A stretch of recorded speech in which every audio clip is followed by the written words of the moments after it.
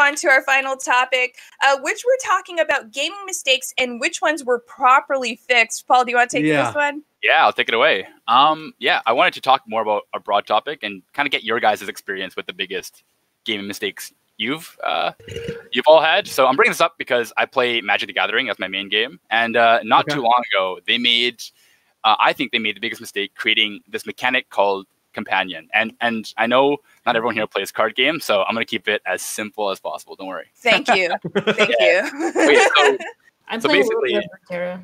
Oh, nice. Yeah. So, uh, companions were basically a creature that would start in your opening hand as long as your deck met a certain deck building restriction. For example, uh, it could be like all the cards in your deck have to have a different name, right? And if every card in your deck had a different name, you would start the game off with um, that companion in your hand. Hmm. So, at first, a lot of people, including myself, were like, "Oh, changing your whole deck just to gain one extra card, like that's whatever, right?" Um, but people were including myself, we were completely wrong. And it was extremely powerful for two reasons. Uh, one, uh, it completely broke uh, a fundamental rule of the game, which is that when you play a card game, when you start it off, every both players start with the same number of cards, which is seven, right? And what this meant is that before the game even started, um, if my opponent had a deck with uh, a companion and I didn't, they would have eight cards to start. I would have seven. I would already be at disadvantage before the game even started. Mhm. So number two, uh, consistency. So in card games, uh, it's supposed to be random, right? That's the whole point of card games. When you draw cards, it's supposed to be random, and you're supposed to start the game off with seven random cards. But if your opponent had a companion and you didn't, their deck would be more consistent because they would always have a companion to start the game, the same card, right? So um, it's it's it's it's complicated because once players start to realize how strong this uh, this mechanic was, everyone started to play companions. And I'm not joking. if you Mm, searched okay. up best decks in Magic right now, every one of them would have a companion, and it created this boring, repetitive metagame that pushed a lot of players out um, for at least a month or two. So, Mhm. how do they fix it? Well, in the end, they had to completely change um, the rules, and they said that in order to put it in your hand, you need to pay a certain amount of resources, and then you could play it. And it was a good change, but um, for me, it was hard because unlike a game like Hearthstone, Magic has both a paper and a digital product, right? So Yeah. it ha- it creates this big change, and Um, um, personally, like I think that um, as much as I love the R and D team exploring a bunch of new uh, mechanics and all that stuff, I think focusing on the balance thing would have been uh, a much more sought out aspect I would want the game devs to focus on. So I guess it sparked the topic in my head where um, I know everyone here plays a variety of different video games. So I wanted to spark a conversation and hear your guys' thoughts on some of the video, the biggest video game mistakes you've experienced and uh, how they fixed it. So, yeah, I think there's there's one that's like one of the the biggest topics that that I feel like just just saying it, you'll immediately know exactly what I'm talking about when I mention Star Wars Battlefront 2. Ooh. Um, yes. Give it to me, one of one of the most like what a disaster this game was coming out um the, the microtransactions that were involved the, the the business practices of essentially the ability to just pay to win get everything that you want all the upgrades all the all the heroes or the villains that you want through these loot boxes that were available in the game and it was getting to the point where they were mentioning stuff on reddit and they were trying to kind of provide reasoning as to why they did what they did. And I think the the single most downvoted comment in Reddit history is the comment from one of the developers at Yes. EA who's Yeah. trying to explain why they were doing what they were doing with Star Wars Battlefront 2. And well, I don't think I mean may, maybe I'm not the best equipped to to provide this part of the answer, but I don't think the game like essentially fully recovered to the point where it was like this is a massive success now and everyone loves this game because there were a lot of people where because of that that launch because of what they did from the get-go they checked out they were gone and they never came back. But there were definitely a couple of friends of mine who who were very big very big Star Wars fans like huge Star Wars fans and there was clearly no way that they were going to get rid of the game regardless of the shady business practices so they stuck with it and now they tell me that there's a healthy player base tons of content has been added to the game for free they've definitely fixed up the whole loot box system and and, and the grind within that and the microtransactions and everything so that it's not as absolutely ridiculous as it was. So there was the there was a pretty nice redemption story for Star Wars Battlefront 2. It felt like still that the damage was done, Yeah. but I think towards the end of the cycle of the game, when they had just released their last DLC, I think I, I don't remember exactly when it happened, but pretty recently when they released their last DLC, I think actually it was with um with the Rise of Skywalker coming out. What a disaster that movie was. Um, and so they released that movie. They put out their last piece of like free content for Star Wars Battlefront 2, and I think like at the end of that game's run, it's a solid game now with a ton of Yeah. content available in it. And if you were to buy it now, I think there's quite a bit of fun that you can have out of it as compared to what it was at its launch. Another game that I think of too at the top of my head is like Rainbow Six. Is it Siege? The newest yeah, one. Rainbow Six Um, yeah. Another disaster at launch. Seemed dead on arrival. Feel it felt like nobody was going to play it, and that was just kind of it for the game. And then all of a sudden, it gets this cult following. Ubisoft is taking in all this feedback, and they're implementing it into their game. And now Yeah. it's one of the biggest esports out there. It's it's yes. That's awesome. Fast- That's cool yeah, to I see think it's one like of the fastest growing uh, esports out there. Yeah. Yeah. They they really I feel like in uh, Siege that case is also the marketing wasn't necessarily all there for that. I think Mm-hmm. a lot of gamers were trying to figure out, well, I play COD or I play CS:GO. Why why would I play Siege? Right? Like it didn't Right. have that um you it wasn't marketed as being, you know, as unique uh, to really drive you away from those games or open up your eyes to playing this experience.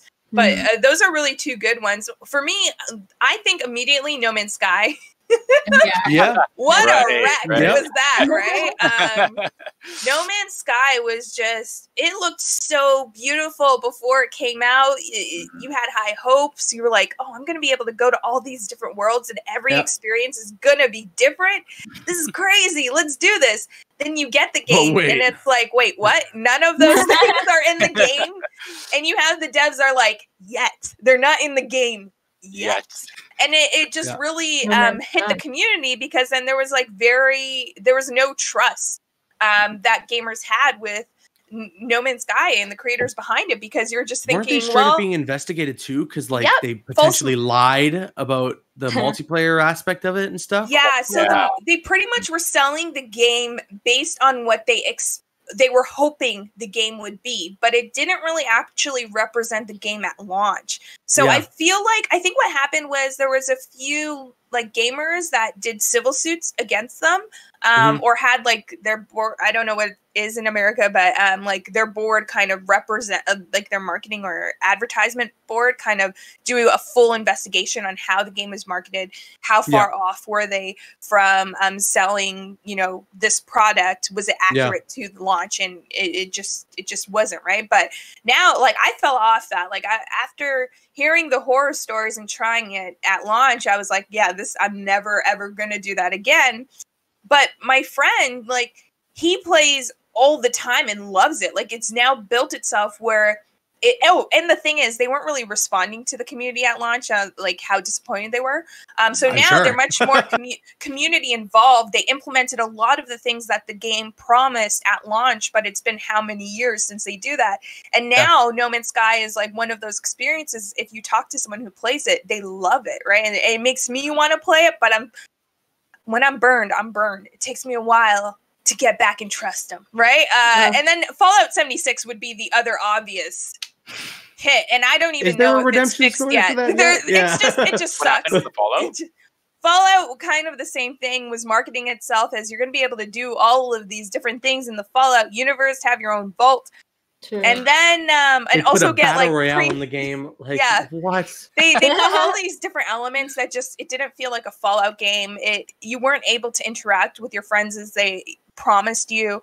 Um, so again, it was like mis-selling what the game actually Yeah. was. Plus, they Yeah. put out really really bad pre-order packages. Like if you pre-ordered, you get a I think it was a Fallout like 76 bag. Um, and it was like oh. really Oh. cool. Yeah, you remember the bag? Yeah. Um, but it was Yeah. really, really low quality and like broke. oh no, It no. was bad. It was, And then they it and then they added no that game that game's had some pretty bad press for a while. Then they added like a subscription service thing for the Yes. game, even though it's not a Oh, free to play wow. game. And oh man, no, there's it. I don't think that game's bounced back just yet. But maybe wait. Well, they wait another five years. Maybe, maybe. Yeah. we'll return to the topic. We'll return. yeah, to the we'll return to it. um to kind of go back to like how paul originally um like introduced this topic something that came to mind for me was actually like league of legends rank system so i mean is everyone in here like familiar with league of legends it's like a, no. Yeah, I well, am. so it's like a 5v5 game right you have five five players on each team um Right, so right, right. pretty much when you play ranked you would think that you- there should normally there is a, a solo queue and a duo queue so maybe you can play Mhm. with one other person and then you get random teammates against random uh, enemies i think Yeah. like in like, two, two or three years ago uh, riot decided to change their rank system to be that you can queue up with as many people as you want so you can face like a five stack team that's like communicating with each other as someone Oh. on the other end just being solo and i don't know why That is so stupid. Why would yeah they do that? i don't know I, I have no idea why they did that. i think they wanted to like cater to more um like uh casual players but still even then it felt like really weird to the integrity of the game especially in a rank system and i think today even though this was like three four years ago people are still seeing the effects of it like people's ranks are kind of skewed. They've tried to do all these things like um so you know you know they have like iron silver gold and that like going up the ranks. They've had to incorporate like new ranks to kind of make up for people's um they call it elo like or mmr matchmaking rating system.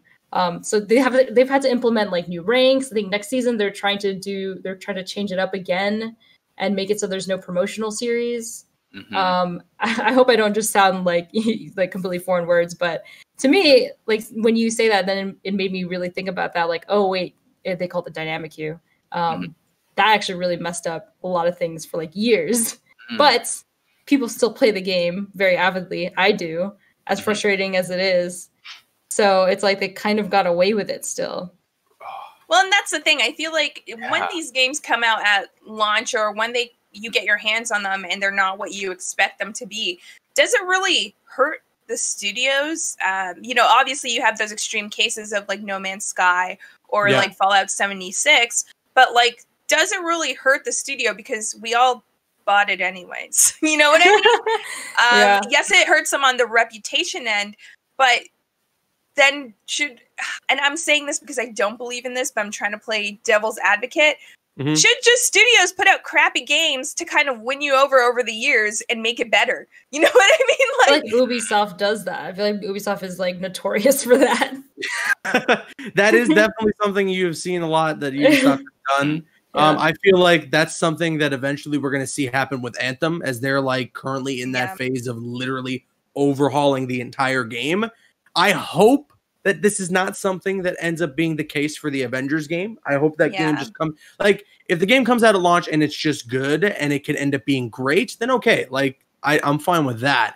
But you obviously you don't want to see a game, and I don't think developers ever want to make a game that is with the strict purpose of being bad with the attempt at trying to develop it over time and make it good. Because obviously you mm-hmm. want to sell the game at the get go, and you want to try and have as many people playing from the start, and then hopefully continue to build from there. That's what you see with games like you know your your free to play battle royales like Fortnite or Warzone, right? Yeah. Like they Mhm. they're they're just fun at launch, and they get a massive player base because of that, and then they continue to update the game and add new features and you know listen to player feedback and make the game just better and better and better to get that player base to grow larger and larger. So I don't think any developer out there their goal is to like let's make a bad game. What do you guys well, think? yes, no, but I it's think amazing. You know, like I no- do. I obviously they don't want to put out a bad game, but sometimes um, these studios could be really ambitious with what they want to Yes. do because they want a long a game that's going to have um, service to it for a long period of time. Something you know Yeah. like the Avengers game. Now, when you look at Square Enix and like their the AAA titles that they put out. I, I believe that they could do this, right? But when you have Mhm. some studios that aren't necessarily used to doing that, or this is their first ven- venture into that, um, I think that's when you kind of run the risk of it's gonna not gonna be great when it, it first comes out because they either have a small team or they they don't have too the ambitious. exactly Yeah. um, they don't have the experience to actually fully roll this out to where we would want it to be um, playing it for the first time Mm-hmm.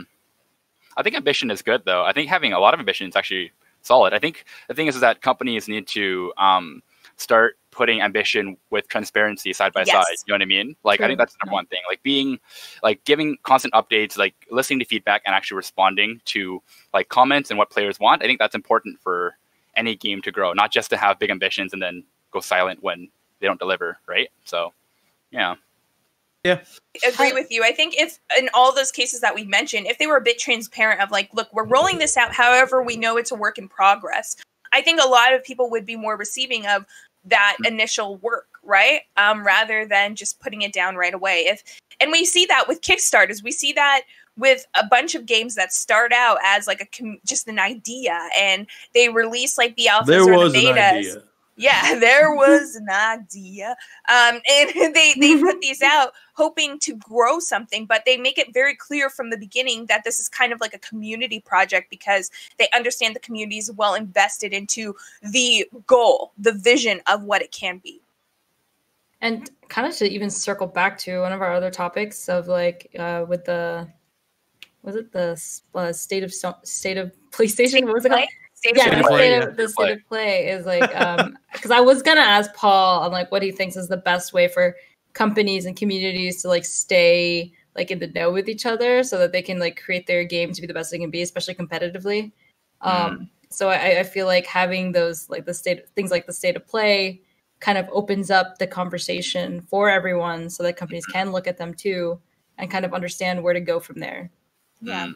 But I guess that's a that's a really wholesome and positive way of looking at it. and, Well, so- I feel like you're always going to have, no matter what, even if, you know, like the state of play, if the company is very transparent on what you should expect, you're going to Yeah. have people that will always be disappointed. Like that Right. is that is the inherent nature of everything, right? You're going to you can't you can't make everyone happy. Yeah, the internet. Definitely Um, can't make Caboose happy unless you're No, you Spider-Man. can't. Unless Spider-Man's in it, he won't be happy. If you show won't or if you can take a dump while you play it, then I'm happy. yeah, those are the two check marks to make Caboose happy. But One and two. it's not that easy, Caboose, to make Number everyone one or happy. number two? Yeah. number one and number. Uh, yeah, how do we end? end- How do we keep ending up back here? I don't. I don't know Yeah. why. Uh, I'm blaming you on this one, Camille. Ah, I'm sorry. I'm sorry. Never again. Um, but yeah, like I feel like you can't make everyone happy, but I think there's it, you have more trust in to that those companies or those developers, um, publishers that are putting out this news if they are transparent. You have to kind of give them props, whether you are disappointed by the news or or happy about it. You just have to give them props for that. So I think we're all on the same page with this one. Mhm. Yeah. I I think Yeah. so. Yeah. Uh, those are, I think, uh, Natuk says, I could get a PhD on how many times Riot blundered their golden goose. Damn. Dang. They made a lot of mistakes, huh? Yeah. They have, but I mean, I guess now it doesn't really matter with League because League isn't their only game now. Like, Mhm. Oh my God, pretty well. That, that fighting They got a fighting game on the Oh, way. Fighting games on the way. Yes. Um, I think Runeterra seems like it's doing okay. TFT seems like it's doing pretty good. Actually, speaking So- of Runeterra, one of the things I really liked and what everyone can do, I think, Mm. is um, a lot of uh, game devs are actually taking a part in the Reddit conversation. Like, I'm a big user of Reddit, and Mm. I think one of the things is that if game developers are actually taking the time to respond to people's comments in Reddit and Yeah. actually like staying active, I think what everyone can do is just kind of remain positive. I think it's natural for people who play video games to naturally just bash on video games whenever they don't like something. Yep. I think if you really like a game, like, and you're on Reddit, like, and your game devs are trying to help out and trying to support your game, like, be patient, be calm, and like Uh, again, it goes So, back. Like I said, no game dev want like nobody sits in an office and they're like, "All right, guys, let's make this game I got an terrible. epic Let's, let's, yeah, let's Let's make this spend game terrible. What do you guys Millions think?" of dollars for You this know? prank. Yeah. Yeah. like that nobody does that. So so when you're out there and you're like, "Hey, screw you for making a bad game, you idiot. It's like, okay, take it easy. I think there's I think there's just always a positive, like there's always a way where we can provide feedback, even if it's something that you just don't like. You know, Yeah. if there is something that I don't like, I'm not just going to hate it unless there are some like very clearly like terrible, stupid things in it. But I also would like it's just constructive criticism goes a very long way in comparison to somebody who's just yelling at you. Yeah. You know, And, like and so, just- yeah. just, yeah, just be patient with these devs. Just provide your feedback. be nice about it, be kind, and I'm sure you'll get a response in return saying, "Hey, thanks for your feedback," rather than getting blocked. Exactly. Uh, those are definitely words to live by. Great advice there. And it all just comes back to in order to shape what we want in the video game community, we have to properly vocalize what we want and Mhm. be just good people. Don't be a crappy person, okay? Everyone's here to try to make the community better because they love it. So don't don't be crappy. That's the lesson of the day. Don't, Don't be, be a crappy. crappy person. Here we go back back to that, huh? Mhm. Always Don't circle be a crappy person right, taking a crap, okay? No one likes that. Double craps. No one wants that.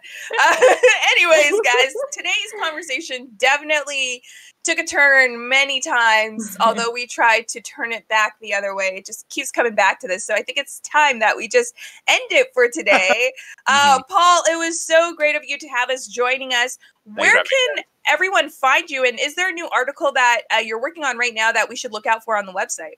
Yeah, I'm actually working a bunch on Riot's new card game, Legends of Runeterra. So if you're looking for deck guides or anything of those sorts, you can check it out on Squad. And uh, I have all my handles at Brother CCG. So yeah. All right, that's awesome. That, and that's at squad uh, squadstate.com, just for those of you that were asking. Alex Caboose, it's always a great time. Uh, Caboose, what do you have coming up this week? Oh boy. Uh well, we got the Avengers beta coming up next week for Xbox and PC pre-order and it's going open on PlayStation and then I'm literally just going to continue counting down the seconds until DC Fandom. Um so if you want to check me out fanboying about all that stuff, it's at Caboose EK on Twitter and Instagram, youtube.com slash caboose, twitch.tv slash caboose, and then also right here on Squad. You just word it so well. I love your. Yeah, words. I'm usually just so do. good at this. I'm Do just so- mine. You're- Do mine too. all right. I'll speak and you like lip sync it. All right, Alex, here we go. Here we go. Alex, what do you have coming out? Wait, are, we, are we doing it? Yeah, yeah, do We're it, do- do it, do it. you you can find me. Oh my god, that, It's not gonna that was that was That was so that was that was really bad. Never again, never again, guys. I had trust, I had faith We'll in you. I pre-record threw something for the next you. week. We'll practice. Yeah. It was Yeah, Yeah, yeah, yeah. practice, practice every single day. But Alex, uh, where can everyone find you, and what do we have coming up this week? Um, I mean, if anyone wants to be miserable with me on League of Legends, I stream pretty much every day, uh, kind of at random hours at twitch.tv slash radpuppy. And then since I don't really have a schedule, if you want to know when I'm going to stream, j- definitely check me out on Twitter at feelsradman. We're gonna stream this week as well on our Twitch right here at Okay, Squad State. okay. You're like, oh yeah, I'm doing that. and that that is going to be Saturday and Sundays from one to is it one to five? I keep getting this Uh, time wrong. For me, it's 11 to 3. Okay, which what is, Two Do to- uh, one, one Yeah. to six, no, two to six, two to six. two to six. All right. Yeah, Oh, yeah. Caboose was on it. There we go. Two to six. uh, you can catch Alex right here, Squad State, streaming some league. Maybe I'll have to hop in with you and just give it a try. Yeah. Maybe we'll do that. I'll be streaming tomorrow. I'm I'm gonna try Fall Boy for the first time uh, tomorrow. So you Fall can Guys, check you Fall- mean? All guys, Fall- all guys. Oh, maybe I'll come through too, actually. Um, I was, I guess I was thinking Fall Out Boy. I had, I've heard, of, I've heard the game. I didn't want to try it till I try it for the first time right here. So I'm going to do that tomorrow from 12 to 4, and then as well on Wednesday, I'll, I'll probably be streaming more of that 12 to 4 as well. So make sure you tune in. Remember, you get all the updates um, for Squad in general at Squad State on Twitter, social medias everywhere, as well as the website. We really appreciate all of you guys watching. Uh, you guys just, you guys just know stuff in chat. You guys know don't Stop. don't they? They just know things, and uh, we really appreciate that. That's So if you if you know any topics that we should talk about next week, hit us up on social. Thank you guys so much for watching, and we will see you next time. Bye, guys. Bye.